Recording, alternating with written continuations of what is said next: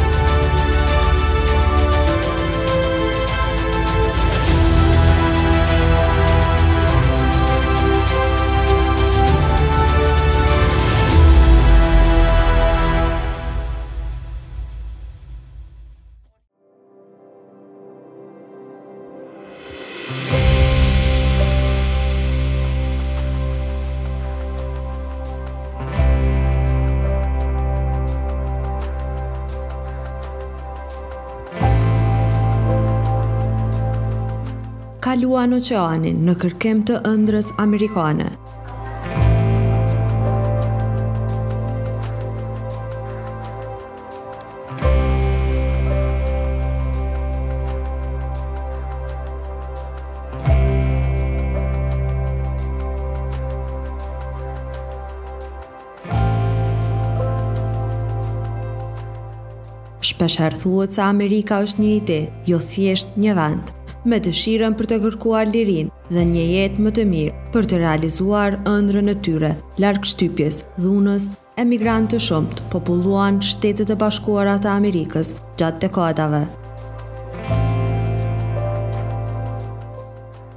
Por si në çdo vend tjetër, duhet të punosh fort, të përballësh me vështirësi të njohura e të panjohura, nga të cilat do të mësosh dhe do të rritësh profesionalisht. Edhe pse për ndonjërin një gjë e tillë nuk ka dalë si vendim i duhur, Për shumicën, diçka e tillë është treguar e suksesshme.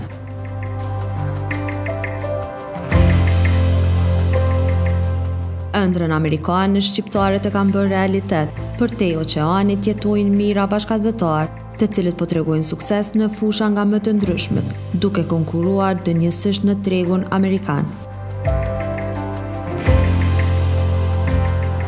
Rrëfim suksesi ka kaluar mijëra kilometra për të kuptuar historinë e shqiptarëve tanë përtej kufijve evropianë dhe oceanit Atlantik. E në Shtetet e Bashkuara të Amerikës nuk kemi gjetur vetëm rrëfime suksesi, por shqiptarë të cilët edhe në këtë cep të botës, asnjëherë nuk harruan rrënjët dhe prejardhjen e tyre. Pas vite sakrificë, ata sot na bëjnë krenarë me pritjen dhe sukseset që ndanë me neve.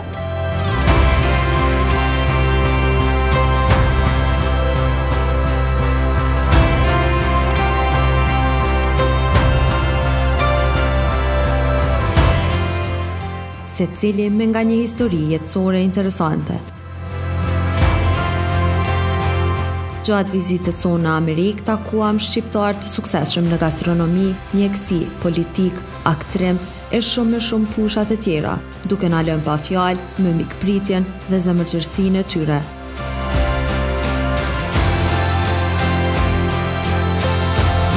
Lagjja Bronx në qytetin e New Yorkut po shndërrohet në atmosferë shqiptaro-amerikane, ku në secilin cep dallon frymën shqiptare. Shumica prej tyre kanë arritur sukses, por kanë paguar koston e mallit të largësisë nga prindërit, familjarët e shoqëria.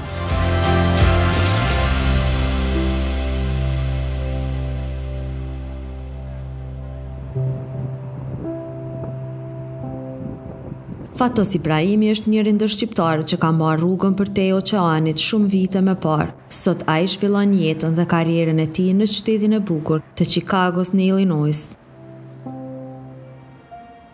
Nuk besoj që mund ta gëzoj epitetin si histori suksesi në Amerikë, mirëpo besoj që integrimi im në Shtetet e Bashkuara të Amerikës ka qenë i suksesshëm. Ardhja ime në Amerikë ose integrimi im në Amerikë ka qenë pak më e lehtë sesa e bashkëvendasve të tjerë. Kjo është falë angazhimit të pakusht të prindëve të mi, të cilët Tërë qenien e tyre kanë investuar në edukimin, rritjen time të jem ky që jam sot.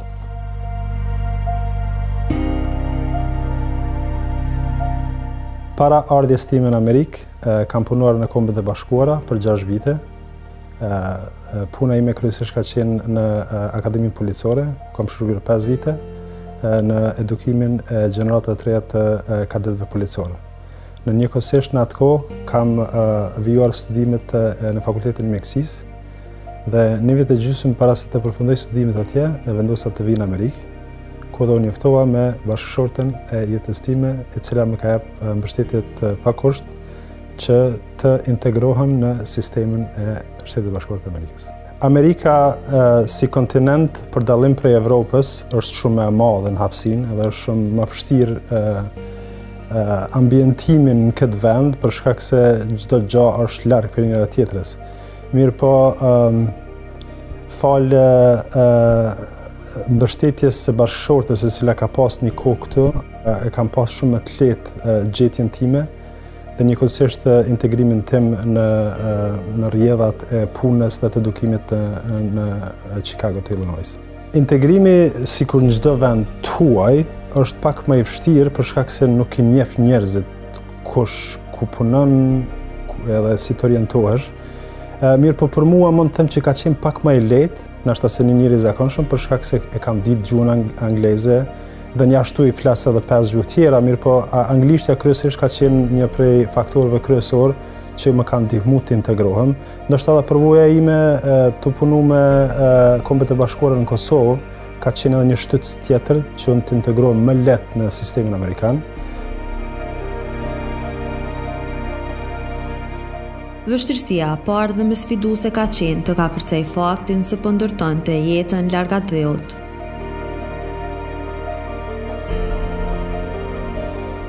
E kujtoj në fillim kur kam ardhur këtu në vitin 2006, njëra prej punëve të para ka qenë në një resort të shtetit, ku kam shpenzuar prafërsisht dy vite, në të cilin punë kam punuar për kualifikimin e shtetasve amerikanë që t'i gëzojnë benefitet dhe privilegjet e tyre shtetërore.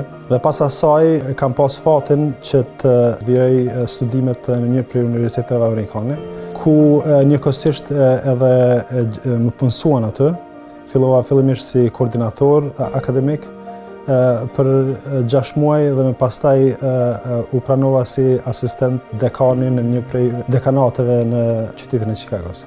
Në atë fakultet fillova punën si asistent dekani ku shërbeva për 6 vite.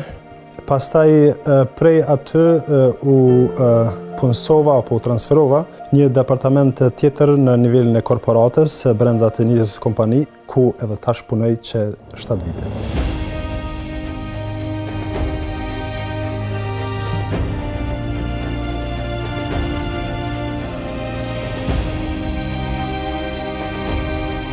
Kjo kompani gjigante në Chicago ia hapi dyert Fatosit vite më parë, ndërmarrje kjo e suksesshme që ofron qasje globale në njohuri që transformon jetën dhe mundëson karrierën. Adtalem është një kompani publike e cila në vete ka pesë institucione edukative që ofrojnë shkollim kryesisht për kuadrot mjekësore. Në këtë kompani kam filluar të punoj në vitin 2009. Ai vit ka qenë i njëjti vit ku unë kam fillu studimet në këtë fakultet, ku dhe u pranova të filloj punën në departamentin akademik. Dhe prej vitit 2009 deri më sot, domethënë, qëndroj pranë të njëjtit fakultet. Normalisht, fillimi ka qenë pak i vështirë për shkak se ka qenë kompania e parë në këtë masë. Përshtypja ime e parë është që do kem shumë vështirë adaptimin tim në këtë universitet, mirëpo me me arritjen që t'i njoh kolegët se kush janë dhe prej nga vijnë, atëherë kuptova që kjo kompani është e veçantë në atë se ka njerëz prej racave, etnive, domethënë, jo, është shumë e diversifikume, shumë e shumëllojshme. Edhe atë e bën edhe të veçantë e, këtë kompani, e, që ka njerëz prej e, e, backgroundeve të ndryshme këtu. gjë e cila më shtyri që edhe ta du këtë kompani edhe shumë ma shumë për atë edhe jam duke punu që tash 14 vite në të njëtën kompani. Për shkak se kompania në vete e promovon edukimin edhe njëra prej ofertimeve tyne është edukimi, më ka ndihmu se unë i kam përfundu studimet universitare dhe postuniversitare edhe në të njëjtin fakultet. Kështu që ma ka mundësu në një farë mënyre ta kem më të letë avancimin tim profesional. Ai është një tjetër shqiptar që dëshmon se Amerika është vërtet një vend i mundësive. Organizata ku punoj është e njohur që i ndihmon punëtorëve tyne që të avancojnë në mënyrë profesionale duke vijuar konferenca të ndryshme. Për shembull, në punën profesionin tem e kemi një herë apo dy herë në vit konferenca të përbashkëta me të gjithë auditorët të gjithë botës, ku na takojnë në një vend edhe ku na ndihmojnë që të që të azhurnohemi apo t'i marrim ato informatat dhe risitë që ndodhin në fushën tonë të profesionit në mbarë botën nga kompani të ndryshme. Një gjë që më pëlqen në këtë organizatë që punoj është që shumë ma çon mallin e Kombeve të Bashkume, për shkak të diversitetit dhe njerëzve që vijnë prej vendeve të ndryshme që punojnë në këtë, këtë organizatë. Domethënë, unë kam kolegë prej Anglisë, kam kolegë prej uh, Australisë, uh, prej uh, Polonisë, domethënë prej vendeve të ndryshme profesionistë që kanë ardhur në Amerikë dhe punojnë në këtë organizatë. Domethënë, kjo është një një prej atyne uh, gjërave uh, që përveç benefiteve edhe privilegjeve tjera që i gëzoj këtu, më bën me qëndru edhe me kontribu për këtë organizatë. Pra, kurrë mos ndaloni së kërkuari ëndrrën e suksesin tuaj, edhe nëse rrëzoheni një mijë herë, po një mijë herë të tjera do ngriheni më të fortë, sepse sfidat dhe vështirësitë pa diskutim ju bëjnë të pathyeshëm dhe më e rëndësishmja, kudo që shkoni, e cilëndo ëndërr ta prekni, Mos harroni kurrë nga keni ardhur.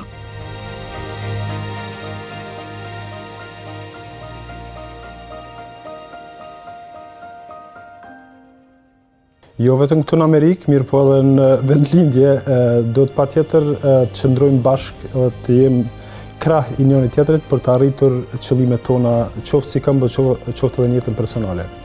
E sidomos në Amerikë për shkak se është kontinent, është në vete, është një vend që është bukur larg vendlindjes tonë.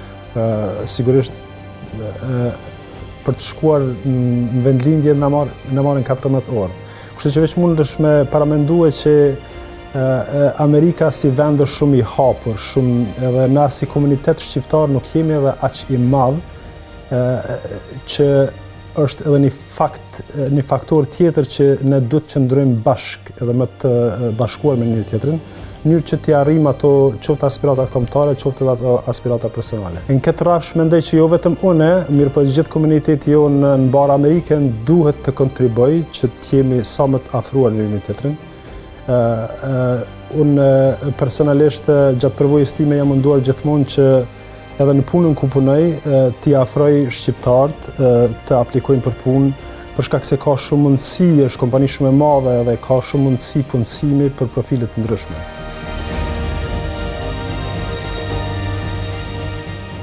Unë e thom që kanjëherë nuk mundesh me bo pytjen çfarë ka bo kombi për ty, por çfarë të bëjmë për kombin edhe komunitetin tonë.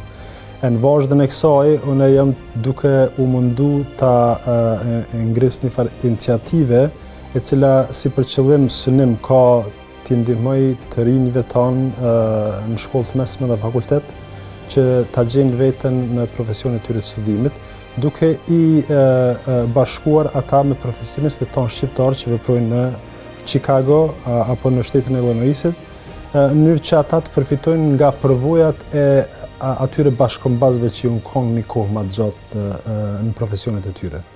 Edhe kjo është veç një prej iniciativave që ne mund të kontribuojmë edhe përkundër angazhimeve tona ditore që i kemi. Për shkak se nganjëherë këtu në gurbet apo në Amerikë, Mjafton që dikush ta jap një farë këshille apo të njofton me dikënd, e një i ri apo një student fakulteti mundet shumë me përfitue nga përvoja dhe dija e njerëzve tonë që janë në pozita të ndryshme.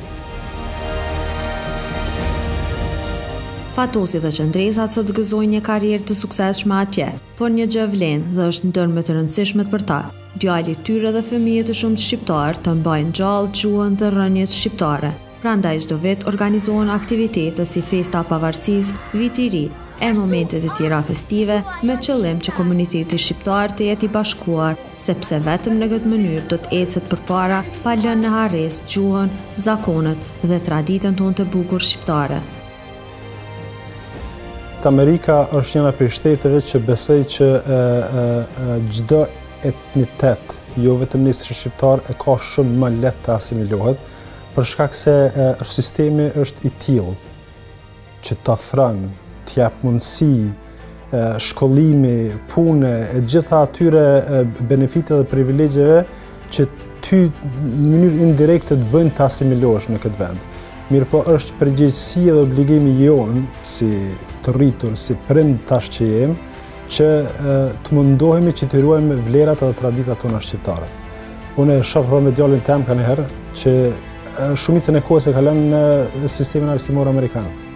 ku është i rrethum me mësus, me amerikanë nxënës tjerë, edhe është shumë e vështirë për neve si prindër përkundër angazhimeve tjera, që ta kompensojmë atë kohë që ata të flasin edhe ta dinë gjuhën shqipe. Është normal sfidë, Mirëpo, prapë po kthehem te ajo që është obligim edhe përgjegjësi e jona që t'i ruajmë këto vlera dhe gjuhën tonë shqipe. Kam dhe pak para, sa me dik balkanim prapë të shtatë kralit. Tu e pas parasysh që shumicën e kohës fëmijët tanë e kalojnë me duke fol gjuhën angleze, mundohemi që të paktën një pjesë të kohës gjatë javës ta kalojnë duke ushtru dhe duke mësu gjuhën shqipe. E në atë fushë gruja ime bashkë me mu deri në një masë në baza vullnetare ndihmojmë shkollën shqipe pranë Çikagos, Kongresin e Manastirit, në të cilën Fëmijët shkojnë për disa orë të dielave dhe mësojnë gjuhën shqipe. Qëndresa integrimin këtu e pati më të thjeshtuar, sepse si fëmijë u vendos në Amerikë.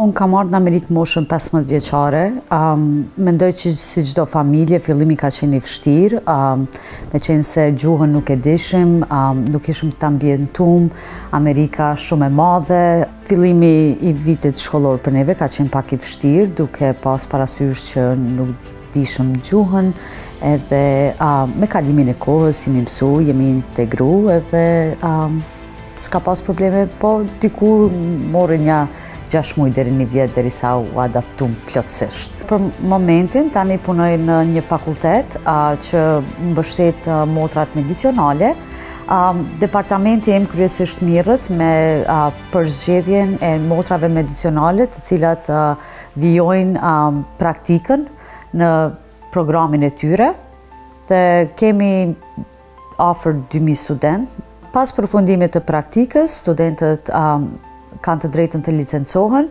të cilat mund të punojnë në çdo spital në Amerikë si motër medicionale. Normal, për Fatosin ka qenë fillimi pak i vështirë, derisa u integru, ka pas mbështetjen time të plotë, por me kohën shumë shpejt u adaptu, filloi punësimi, filloi shkollimi edhe ja ku jemi sot. E veçanta e Fatosit janë që është shumë punëtor edhe atë që e synon edhe e kryen. Um, Fatosi çdo herë ka qenë shumë pozitiv um, në çdo aspekt, në aspekt të punës, në aspekt të, të karrierës, në aspekt të edukimit edhe um, është një person që integrohet shumë leht edhe ka veti shumë të mira Me i kuptu njerëzit. Fatosi tregon që ka udhëtuar mes dy realitetesh, duke qenë njëkohësisht edhe shqiptar edhe amerikan, duke mos cenuar as njërën e as tjetrën. Gjatë rinisë time unë kurrë nuk e kam paramendu veten që do të jetoj jashtë vendlindjes time. Edhe ardhja ime këtu nuk ka qenë prej zorit, nëse muna me quajt, po ka qenë thjesht Për një perspektivë më të mirë, edhe pse nuk më ka mungu perspektiva në Kosovë, kam qëndru shumë mirë me punë, kam pas, kam viju në fakultet të mjekësisë për t'u bërë mjek. Unë besoj edhe mendoj që pavarësisht se ku je, do ta japësh atë maksi, angazhimin maksimal, qoftë në aspektin profesional, qoftë në atë akademik. Për shembull, Nëse vjen prej Kosove në Amerikë, atëherë Amerika t'i ofron gjitha. Nëse je i zanatit, domethonë ki mundësi ta gjesh veten në atë fushë. Nëse je i shkollës edhe ki naj edukim paraprak prej Kosove, atëherë shumë leht mundësh me integru veten në sistemin amerikan. Unë personalisht kam has gjatë përvojës time pranë universitetit, kam has shumë bashkëvendas tonë, të cilët kanë kry fakultetin në Kosovë, të cilëve ju kam ndihmu, ju, ju kam ndihmuar që t'i transferojnë ato në kredite amerikane dhe të gjejnë punësim në profilin e tyre në Amerikë. Nganjëherë jeta ty të dërgon në rrugë tjera.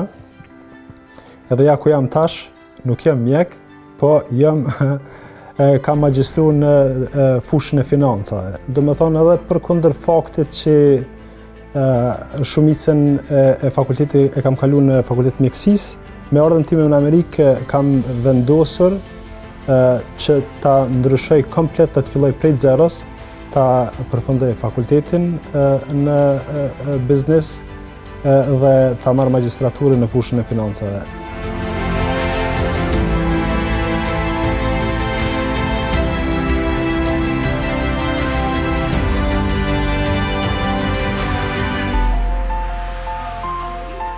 Qëndresa përveç punës së saj të suksesshme në Amerikë, tash sa vite është angazhuar vullnetarisht si drejtoreshë e shkollës shqipe, Kongresi i Manastirit në Chicago.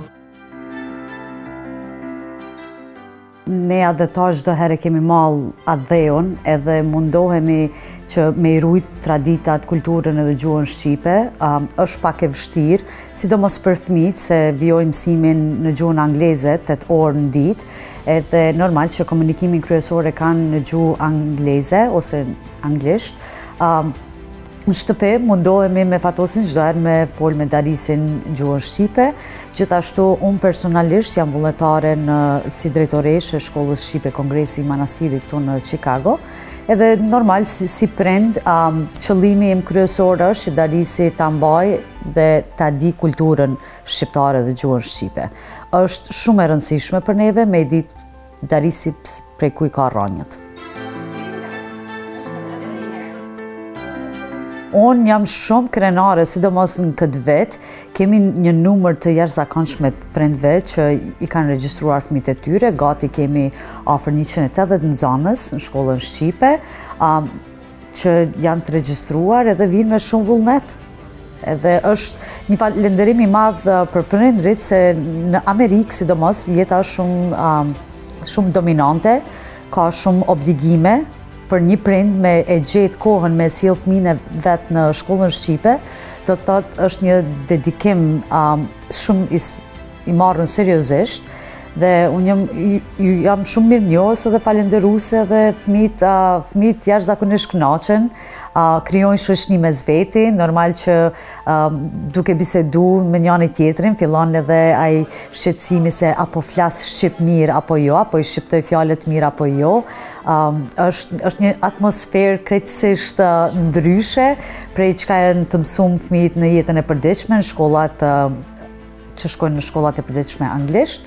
Është shumë knaqësi me i pa fmijtë tu mësu shqip edhe tu u mundu me, me, me rujt traditën e tyre. Pra, ata janë një çift që po zhvillojnë jetën dhe karrierën e tyre përtej oqeanit, por po mundohen të mbajnë gjallë gjurmën shqiptare gjeneratë pas gjenerate. Por cila është porosia e mërgimtarit Fatos Ibrahimi nga Shtetet e Bashkuara? Mesazhi im, nëse dikush më pyet për shembull, ë, oh, po unë nuk jam një profesionist i suksesshëm në fushën time, unë mendoj që kurrë nuk është vonë. E sidomos nëse e ndrron shtetin apo shkon në një shtet tjetër si Amerika, ë, këtu unë personalisht kam hasë në studenta të cilët kanë qenë para pensionimit, që kanë fillu edhe e kanë ndryshu karrierën e vet. Historitë e mërgimtarve tanë edhe përtej oqeanit të mbushin zemrën që asnjëherë nuk harrojnë vendin e origjinës. Shpresa që i mban gjallë është se një ditë do të kthehen në vendlindje.